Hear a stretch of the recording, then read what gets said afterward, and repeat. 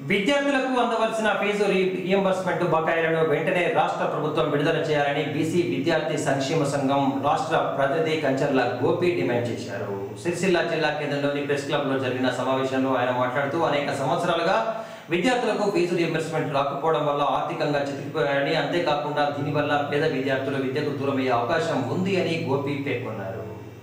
ఈరోజు బీసీ విద్యార్థి సంఘం సిరిసిల్ల డివిజన్ ఇన్ఛార్జ్ ఇల్లందుల ప్రకాష్ ఆధ్వర్యంలో ఈ ప్రెస్ మీట్ నిర్వహించడం జరిగింది. ముఖ్య ఉద్దేశం మనకు రావాల్సిన ఫీజు రివార్స్మెంట్ కానీ పెండింగ్ స్కాలర్షిప్లు కానీ వెంటనే విడుదల చేయాలని మేము ఎన్నిసార్లు బీసీ సంక్షేమ సంఘం కానీ బీసీ విద్యార్థి సంఘం కానీ ఈ రాష్ట్ర ప్రభుత్వానికి ఎన్నిసార్లు మేము విజ్ఞప్తి చేసినా ఆందోళన చేసినా ఇంతవరకు స్పందించకపోవడం చాలా దురదృష్టకరం.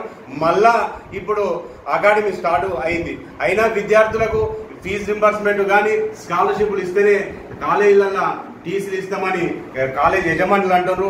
పేద విద్యార్థులు చదువుకోవాలన్నా చదువుకోనాలన్నా అనే ఆందోళన కార్య ఆందోళన చేస్తున్నారు.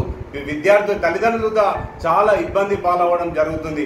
అయ్యా కేసీఆర్ గారు మన తెలంగాణ రాష్ట్రం ఏర్పడడానికి ఏర్పడడానికి విద్యార్థులే ముఖ్య భూమిక పోషించిందని సందర్భంగా తెలియడం జరుగుతుంది. ఆనాడు విద్యార్థులు దాదాపు పన్నెండు వందల మంది విద్యార్థులు బలిదానంతోనే ఈ తెలంగాణ రాష్ట్రం ఏర్పడ్డది.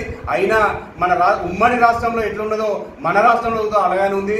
కానీ అయ్యా ఒకటే మేము తెలంగాణ రాష్ట్ర విద్యార్థి కమిటీ నుంచి మేము ఒకటి విజ్ఞప్తి చేయడం జరుగుతుంది. ఖచ్చితంగా మీరు వెంటనే పెండింగ్ స్కాలర్షిప్లు కానీ ఫీజు రింబర్స్మెంట్ కానీ విడుదల చేయాలి.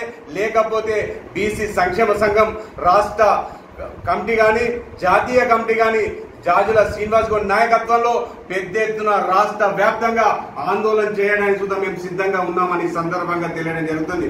అయ్యా కేసీఆర్ గారు మీరు ఖచ్చితంగా పేద విద్యార్థులను విద్యకు దూరం చేయాలనే ఆ ఉద్దేశం కొద్దే ఈ ఫీజు రింబర్స్మెంట్ కానీ స్కాలర్షిప్లు కానీ విడుదల చేయకపోవడం చాలా దురదృష్టకరం.